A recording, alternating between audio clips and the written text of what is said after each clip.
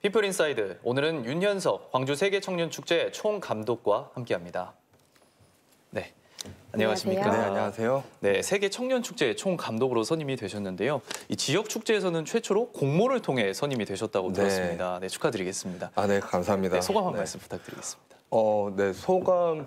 네, 일단 굉장히 중요한 역할을 또 맡게 돼서 어, 한편은 걱정도 되고 또 부담도 되지만요. 어, 지역의 청년들과 또 세계의 청년들과 함께 어, 뭔가 어, 지역을 대표하는 또 다른 어떤 축제의 모습을 만들 수 있다는 또 다른 기대감을 가지고 있습니다.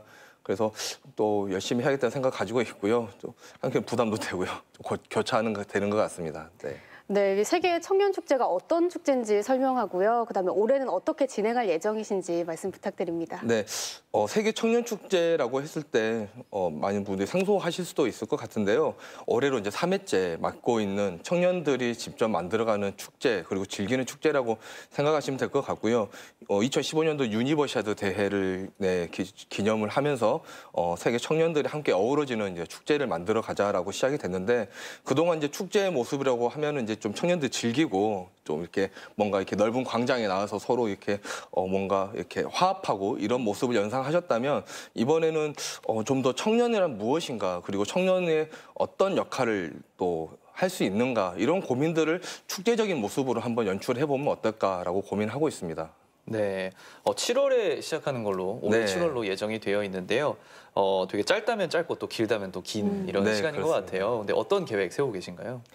어 일단 7월이면 여름이잖아요. 그래서 여름의 축라고 하는 어떤 계절에 맞게 좀 더 그 무더위를 날려버린다거나 아니면 그 여- 뜨거운 열정에 더해서 또 더더욱 더 청년스러운 모습을 보인다거나 라는 것들을 이제 고민하고 있고요.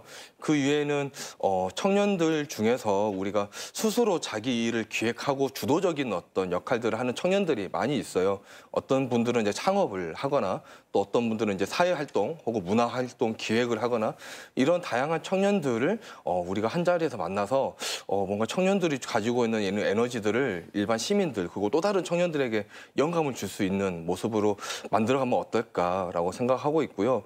그다음에 그 여름 밤을 어떻게 우리가 재밌게 또 보낼 수 있을지 그러니까 이런 다양한 복합적인 관점으로 축제를 지금 계획하고 있습니다. 네, 대표적인 거를 좀 소개해 주셔야 될 것 같아요. 뭐 청춘 아, 네. 스타트업 페스티벌 같은 네. 짧게 소개를 좀 부탁드릴게요. 일단 이제 전체적으로 이제 스타트업 이라고 했을 때는 일반적으로 창업을 한 그 창업자들 이야기를 하는데요. 저는 그 스타트업 개념을 좀 더 확장해서 어, 앞서 말씀드렸던 것처럼 기- 스스로 일을 주도적으로 하는 사람들 그리고 이제 그 일을 시작하려는 사람들 그 그런 사람들의 일하는 모습 그리고 스스로 그런 일을 찾는 사람들이 한 자리에 모여 있는 일종의 어 컨벤션 같은 역할을 하는 어, 모습을 만들어가는 그런 스타트업 페스티벌과 또 midnight 포럼이라고 해서 우리 청년이 직접 만나고 싶은 어, 뭔가 이렇게 멘토 같은 역할을 하는 청년들이 있잖아요. 네. 그런 분들이 함께 광주에 오셔가지고 어, 밤새도록 청년들과 이야기를 나누고 또 그들과 함께 또 교류하고 또 대화하고 이런 역할들 그리고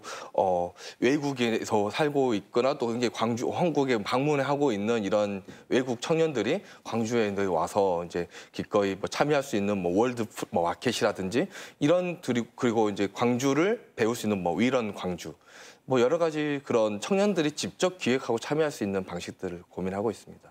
네, 지역뿐만 아니라 뭐 전국 각지 그리고 네. 세계까지 이렇게 넓혀갈 계획이신 것 같은데요. 네. 그 네트워크형 플랫폼 축제를 기획하신다고 하셨는데 어떤 건가요? 어 일단은 이제 축제라고 하는 그 역할들이 있는데요. 축제가 기본적으로 사람들을 불러 모으는 역할을 가지고 있죠.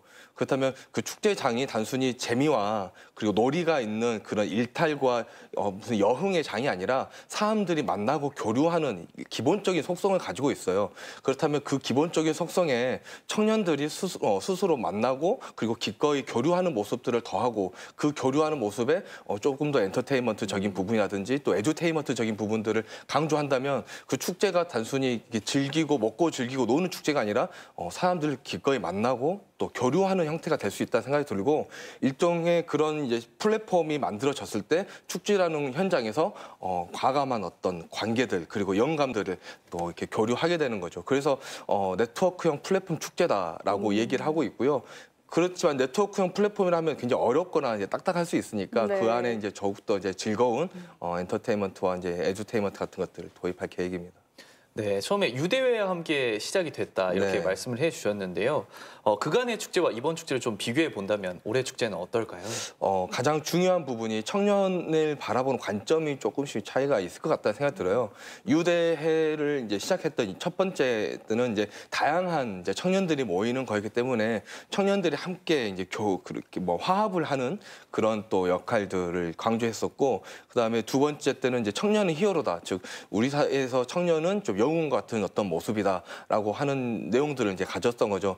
그렇다면 저는 이제 아주 청년들을 이제 바라보는 관점에서 어 어떻게 보면 사회적 약자로서 청년들을 보는 관점 그리고 어 뭔가 청년들을 너무 이렇게 띄워주는 관점들이 또 있을 것 같은데 저는 그런 것보다 청년은 무언가를 시도하고 그리고 상상하고 그리고 그런 일들을 행동하는 어떤 그런 역할을 하는 게 지금 시대의 청년의 모습이라 생각이 들었어요. 그 하는 일이 굉장히 크고 위대하고 그런 개념이 아니라 어, 자기가 늘 꿈꿔왔던 일들 그러니까 누군가 정해놓은 틀이 아니라 자기가 늘 꿈꿔왔던 일들을 스스로 상상하고 또 그런 상상한 것들을 기획하고 행동하는 모습이 이제 일반적인 모습이 되었으면 한다는 생각이 들고요. 그런 일을 하는 게 혼자서만 이게 진행하면 애롭고 또 힘든 일이 될 수 있지만 어, 같은 시대에서 어, 같은 고민하고 있는 청년들이 함께 모여 있다면 그리고 그들을 만나고 또 함께 뭔가 이런 어, 교류를 통해서 혹은 또 만남을 통해서 발전할 수 있다면 그게 바로 청년의 모습이지 않을까라는 생각이 들어서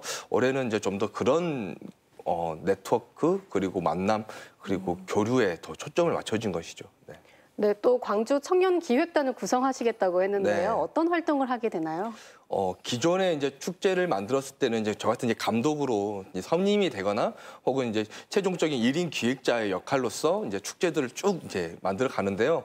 저는 이제 그런 어떤 제 어떤 생각과 어, 계획만으로 축제를 구성하기보다 더욱더 다양한 청년 단위들 혹은 청년 주체들의 의견을 그리고 혹은 참여를 유도해야 된다고 생각을 하고 그것을 한데 모았을 때 저는 그것을 어, 잘 실현할 수 있는 역할이 감독의 역할이라 생각이 들어요. 그래서 어, 축제 기획 초기부터 또 마무리까지 청년 축제 기획단이 어, 참여를 해주시고 그 안에서 다양한 이제 의견 그리고 내용에 대한 어떤 어, 발전적인 부분들을 이제 계속 저에게 어, 아, 뭐랄까 좀 이렇게 조언을 해주시거나 또 도와주시면 저희는 그런 부분들을 잘 이제 정리를 해서 축제에 즉각적으로 반영할 수 있도록 네, 하는 것이죠.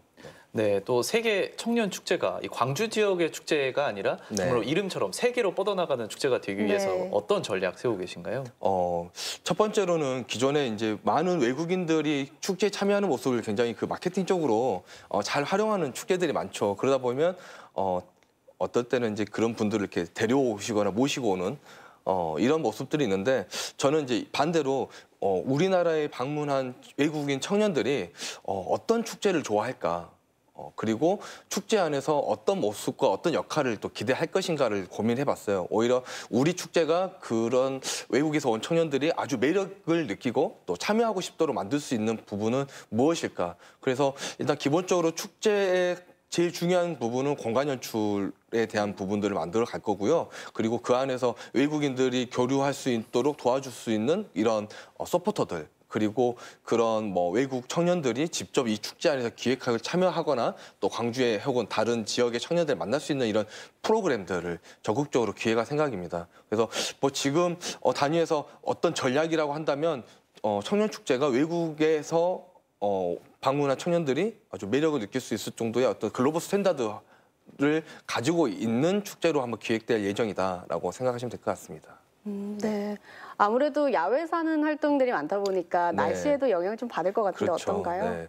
어, 아마 제일 걱정되는 부분은 이제 한 여름에 진행되다 보니까 방문객들의 어떤 탈수라든가 뭐 이런 지치는 또 참여하는 분들의 이런 부분들이 어, 일단 걱정이 되고요.